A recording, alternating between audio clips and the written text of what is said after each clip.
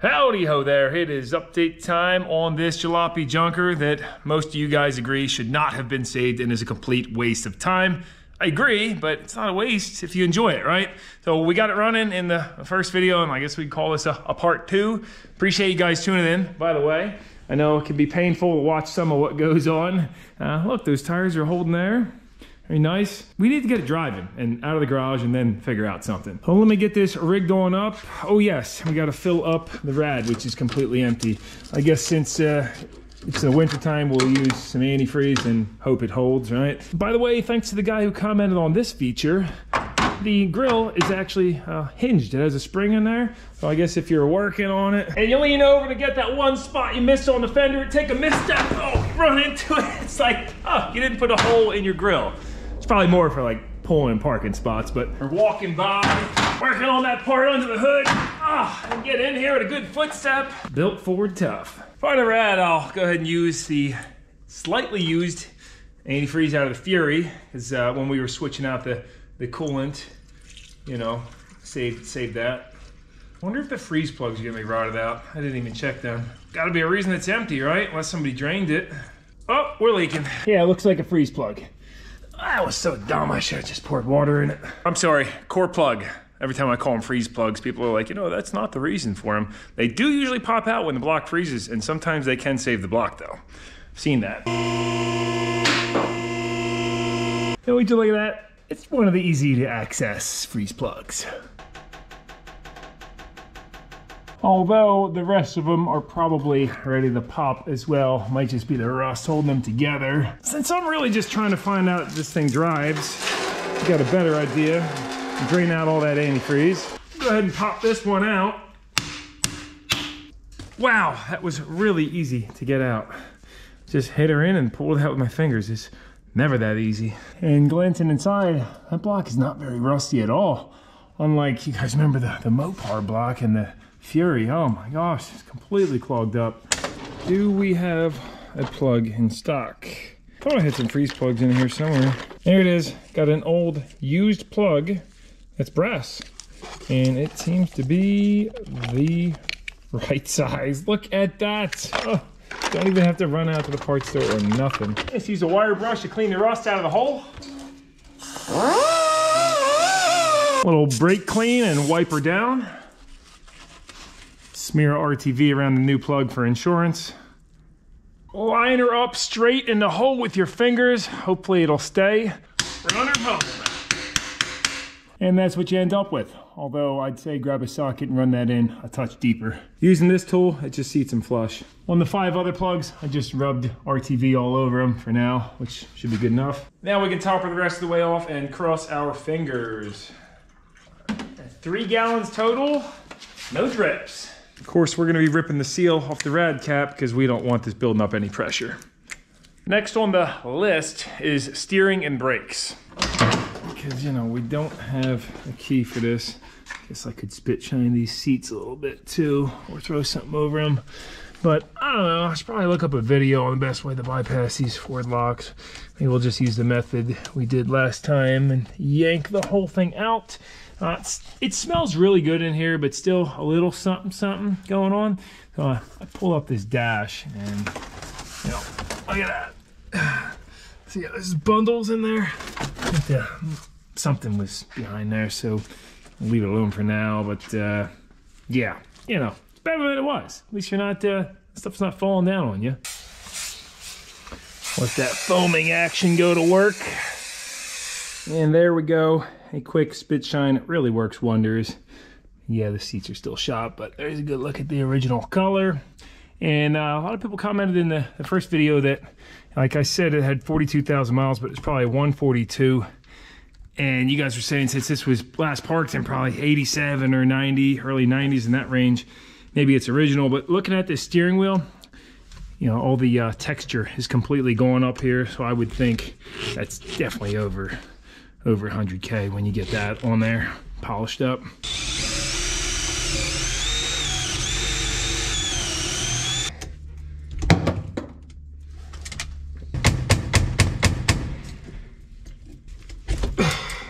There it is. I'll bet you instead of drilling that, I could have just hammered the pin in on the bottom and pulled the whole thing out. I think that would have been a better way. Well, I got it turning with the screwdriver. We get back to lock. We can go to what seems like would be run and start, but nothing happens. I don't know. I mean, my drill didn't go in deeper than it had to. Of course, the other reason it might not be cranking over, no lights on with the key on, is this little guy. Positive off the battery. You have what I think is probably a fusible link, and that, that could be blown. Or just a corroded ignition switch. Lastly, before we fire this up and try to move, is the brakes. We had checked the master, had fluid, never did press the pedal, so let's see. All right little, little locked up. That means the bore is pretty rusty, but let's give it the old push and see if it comes back. Oh, there it goes. Doesn't want to come back, that's okay. Oh, there goes our first blowout. Right down under the engine on the subframe.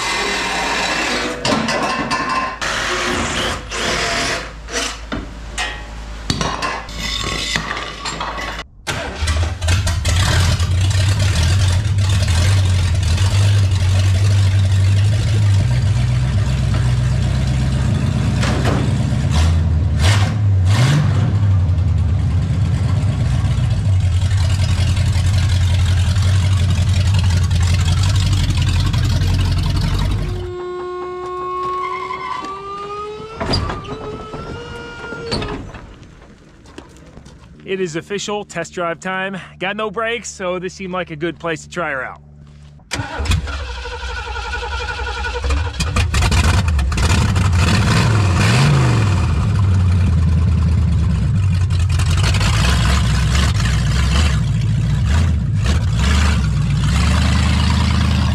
My gosh, she is driving perfect. We got about a half tank of fuel. Earmuffs, of course, thing is obnoxiously loud. She's got moles too.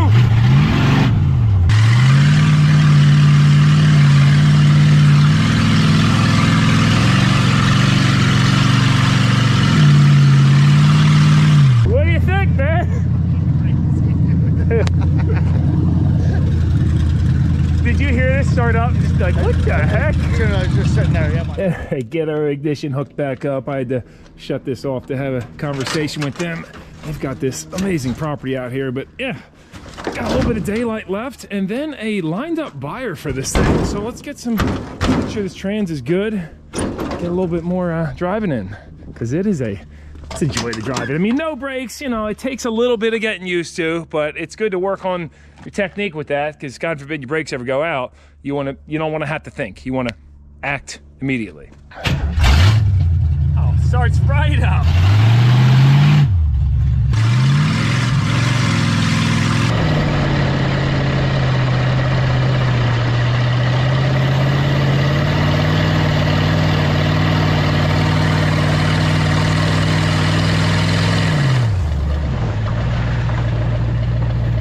Getting a little bit jammed up in the wheels here. But uh, luckily, everything's very wet and mushy out here. Look at that. Oh, it's good stuff. Uh, so no real need to worry about a, a, fire. Of course, we do have a, a, a fire extinguisher if need be. But uh-oh, I shouldn't have stopped.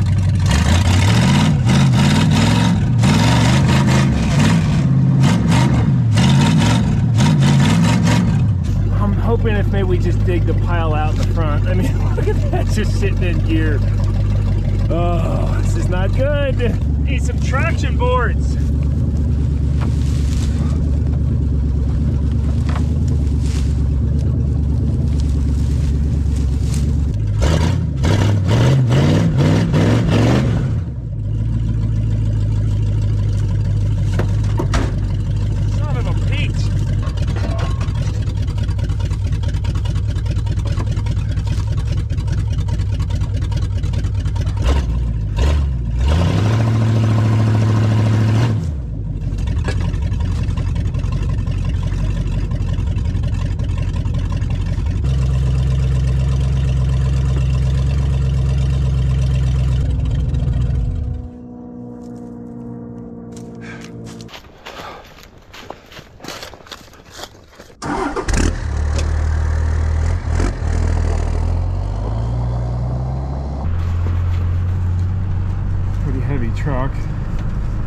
Feels good. I'm far away from it because it's really muddy up near there. So let's give her a little tug without getting stuck.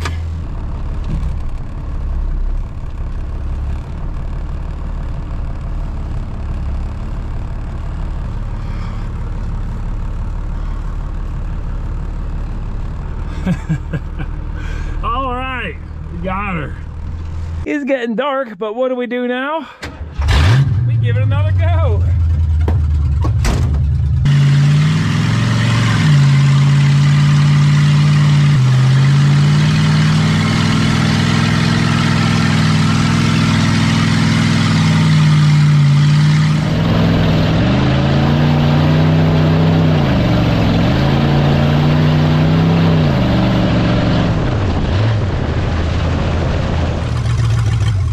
All right.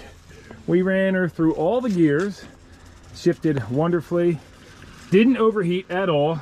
And I know we don't have a temp gauge, but it would be boiling over if it was overheating. You see the power steering belt uh, held on too. So yeah, it's uh, that's a good test drive. I got it loaded up and on the way to delivery.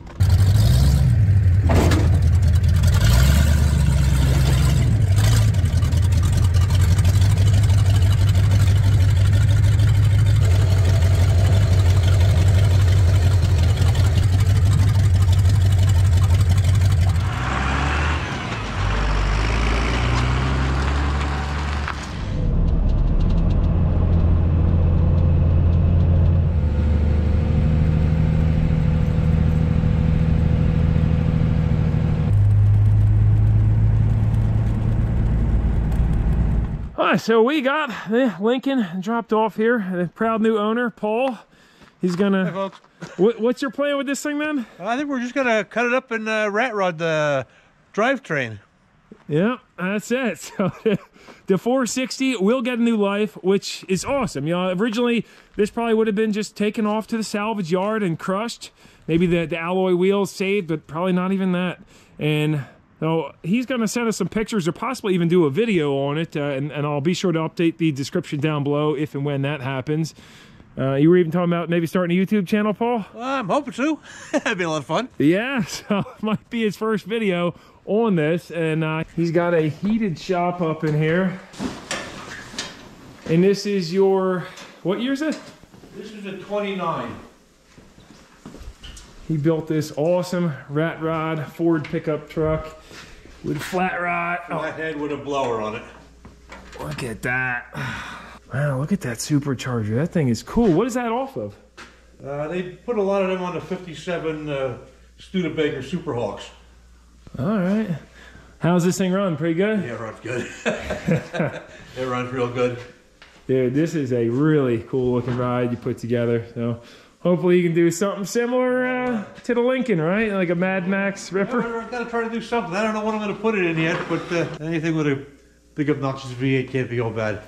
yeah, totally. Is this thing, uh, this is manual too?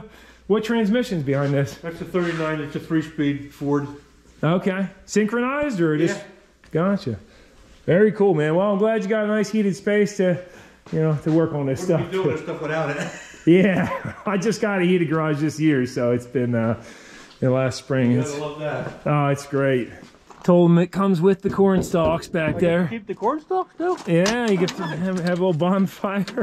And he said he'd buy this off me as long as it starts up. Let's cross our fingers it still starts. I don't see why it wouldn't.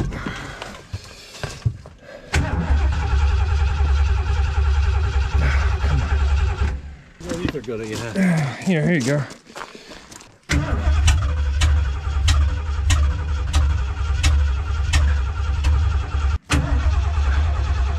Course, now it doesn't want to start.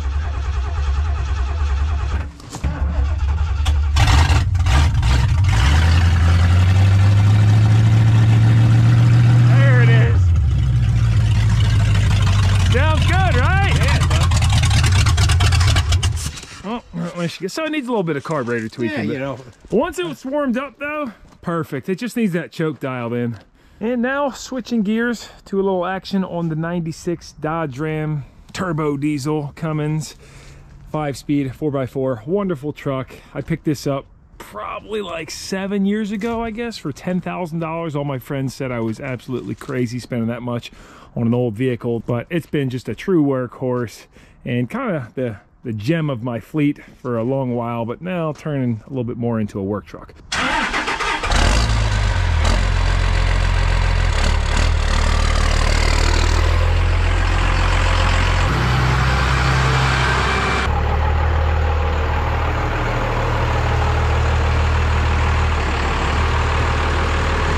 now got 218,000 miles on the clock, and the few issues want to address today are the fuel pressure has been dropping closer to zero as I'm cruising down the highway with the trailer behind me, full acceleration.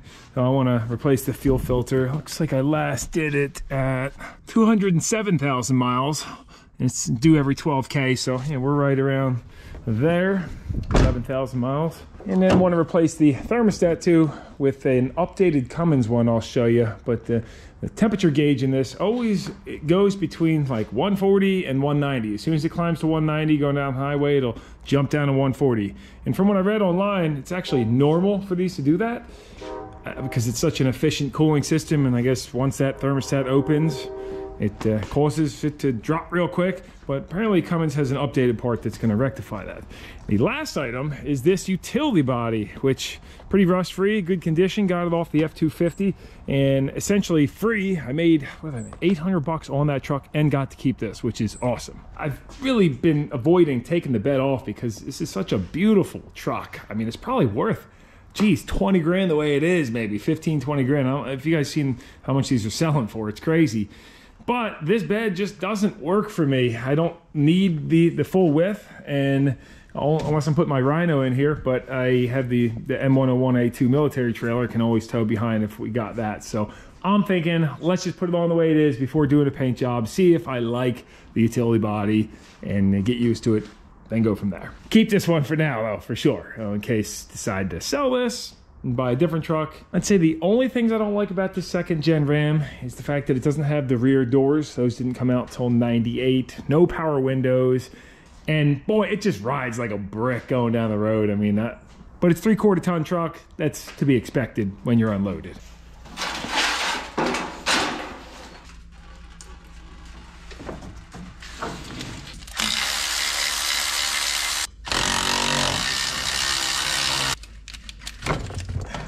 Just two bolts. We got the alternator tucked out of the way and just so much space in here. I mean, look at it. It's such a, a joy to work on these engines. You got to replace a turbo, exhaust manifold, all right there. Injection pump right on top. Water pump's only two bolts. I should probably just put one in there as preventative maintenance right now, you know?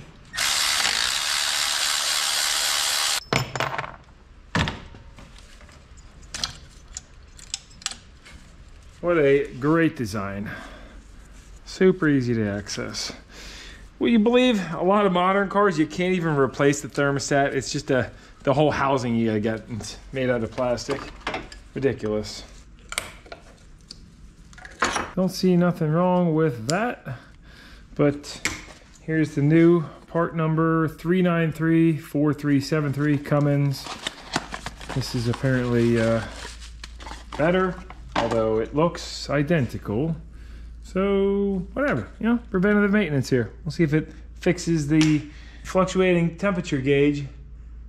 Uh, it is a different part number, so yeah, I'm excited. Let's get this housing cleaned up a, a bit. It didn't come with new O-rings, but I mean, there ain't nothing wrong with these. You got one big heavy one on the inside, cast iron, built for life.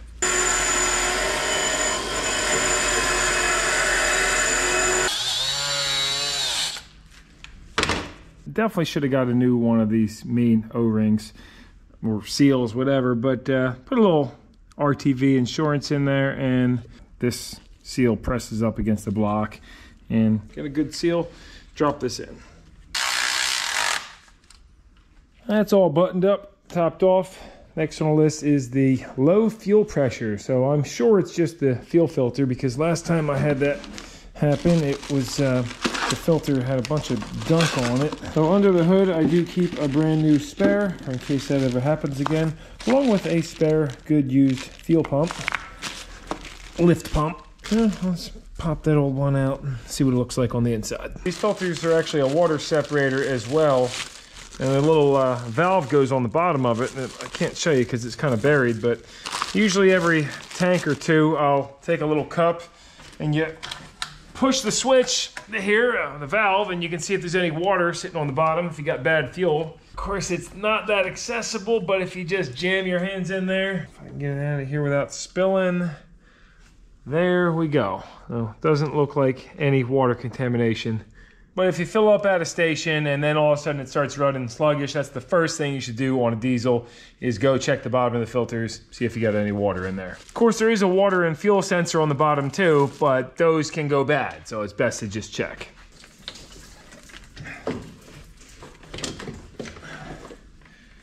There we go.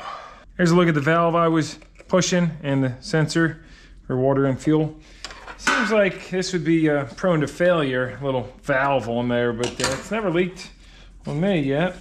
Basically, if these get covered in water, there's less resistance and uh, that'll set a light, water and fuel light.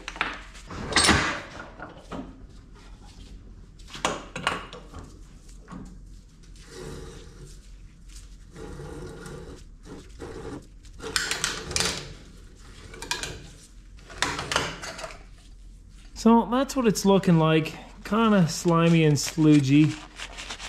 And yeah, see all that black sludge on there? Now last time I had this happen, I had ran a, a, a tank or two of heating oil through this truck, driving it off-road.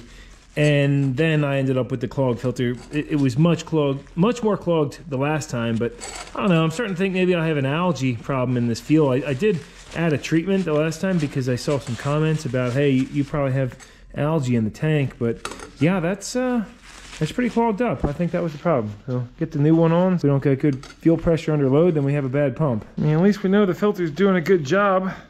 But see, here's what it should look like. The inside? Should look nice and clean like that. In the outside, I mean, I can just feel it. It's all slimy.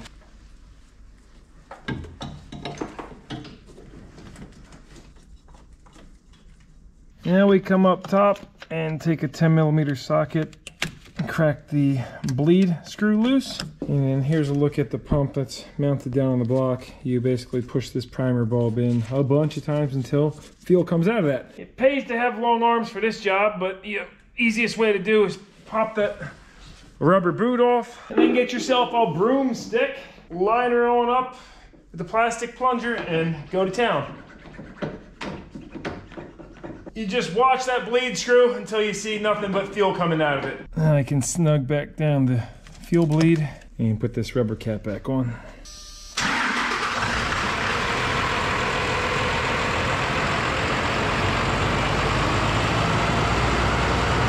If you prime the system properly, it should fire right up and run without problems. Earlier today, I finally put a little exhaust tube in going out, so I got my rubber hose and then a four inch PVC out the side. So you can run cars in here and it's, it's great.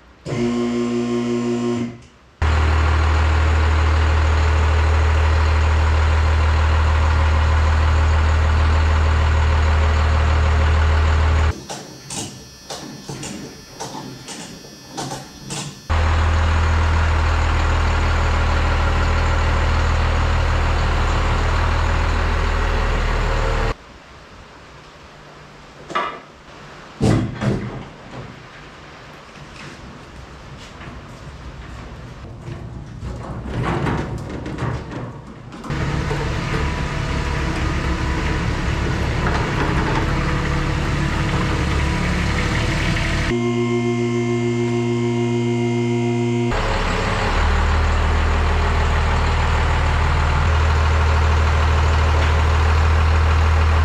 I know what you guys are thinking. You ruined the truck. It looks like poo. Uh, that's exactly what Jen said when I showed her a picture when in last night. She's like, What did you do? Well, I assure you, if we keep it, do some kind of paint job probably. But for now, get this bolted up, wired up, and use it. See how I like it.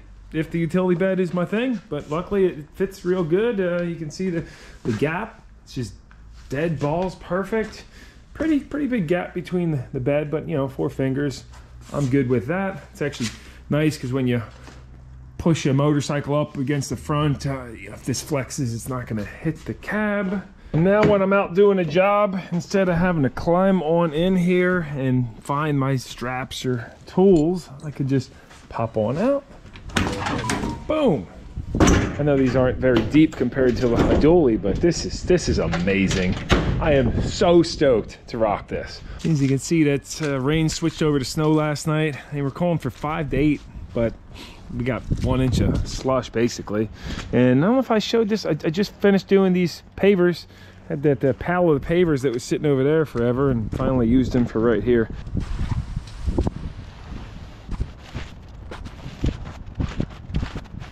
There's a better look at them. Okay, final mounting is done. We got two bolts in the front, four in the rear.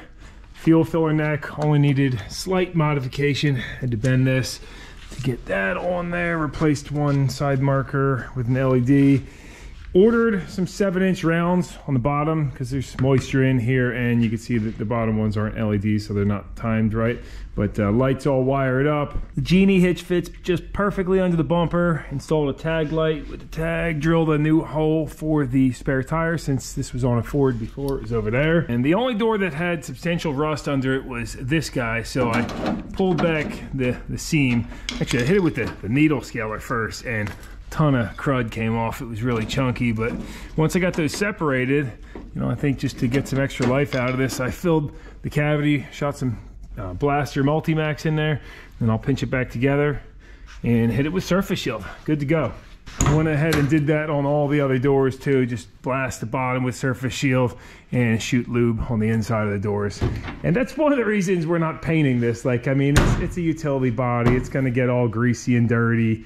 And I don't, I really don't see the reason. Like, I think it looks beautiful and unique the way it is. Oh yeah. Well, you know, I just thought of something. I should probably take that off of there, huh?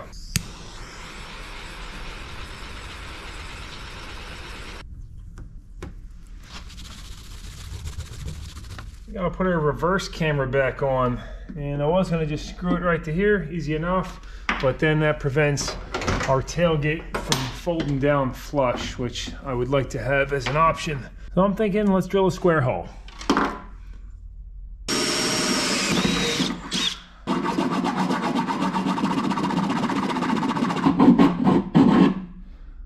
One square hole. Camera sits in there perfectly, and I was gonna hit it with some clear silicone, but you guys ever have this happen? Opened a brand new tube of this DAP. It says clear, but it's white. Hmm.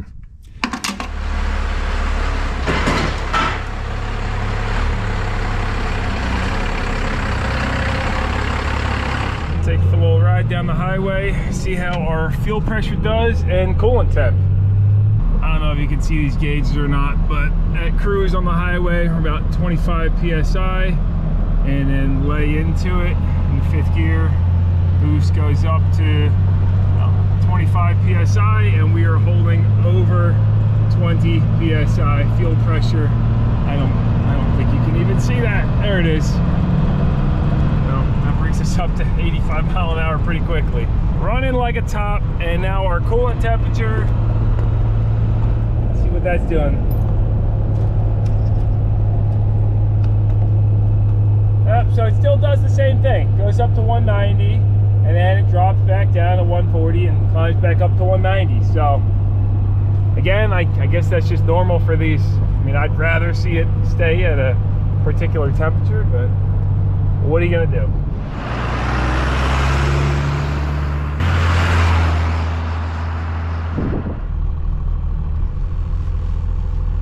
This should help fix that issue with the diesel fuel slime. Alright, just drop it right in with my fluids. Got the funnel, wheel chock, somewhat organized. I'm, I'm getting there. And put all my stuff in here, but it's definitely not organized yet by any means. I was looking up how much the, the toolboxes cost for these things and the extra shelves. A lot of money. It's like $120 per shelf. Or for the, the toolboxes that go in here, they're like $2,000. It's crazy. I ended up ordering a Craftsman tool chest, 26 wide by only 12 inches deep.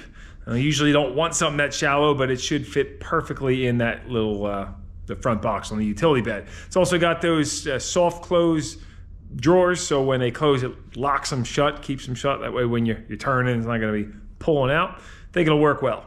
200 bucks. While most people said the Lincoln was a complete waste of time, I disagree because I ended up getting 1200 bucks for it, which it wasn't worth anywhere close to that as scrap value. Uh, now the motor's going to be put to good use. Also got the catalytic converters. Those are probably worth uh, 50, maybe 100 bucks a piece. Those are big ones. I originally planned for a different video this week, but then had a little scooter accident. I'm good. Tailbone. Oh. Well, maybe that fixed my back problems. Or not.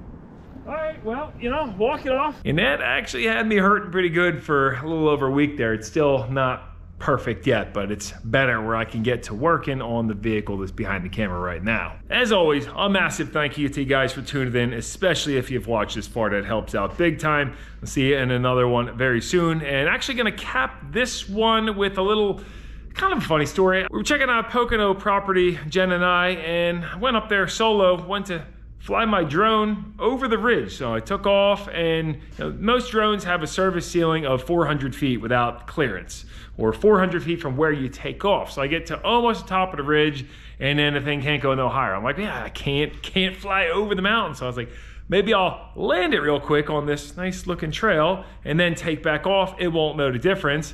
As soon as I landed it, it lost reception completely. And I was like, oh man, I was gonna hike up, but I was like, hey, I'll take the Tundra up. It looked like a decent trail. It was very steep, but to the clips.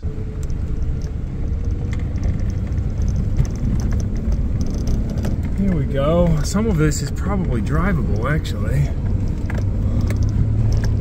Oh, I don't know. You'd have to air down the tires. This is pretty rocky. Oh, yeah.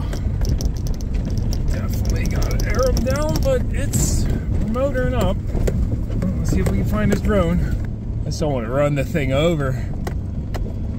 Here's roughly where it was, because it was a pretty smooth landing. There it is. Yes! that worked out. There's my drone. Drive right over top and park on this relative flat. There she is. A nice view up here. So now I can retake off from here and we'll start at zero feet. Should be able to get over the ridge line and check out the other side.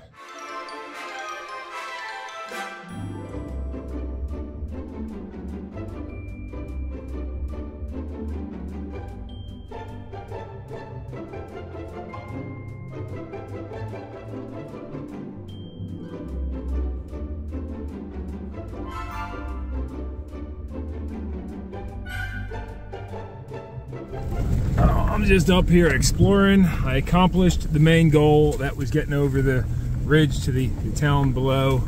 And now I'm just kind of checking out all these trails, seeing how far they go. Luckily brought the Tundra because this thing is very agile. Dropped the, uh, tires down to 18 PSI. Much better than 40. Mostly UTV trails, but we are kind of just following the, the ridge up here, seeing where it goes. Hey guys, you know, I was about to hit render, but then I remembered you got some loyal viewers and they say no video is complete without the Goose Man. Over here taking a midnight nap. Yeah, a good boy. The springtime's coming soon. We'll be doing fun stuff again. Stay. Okay, good boy.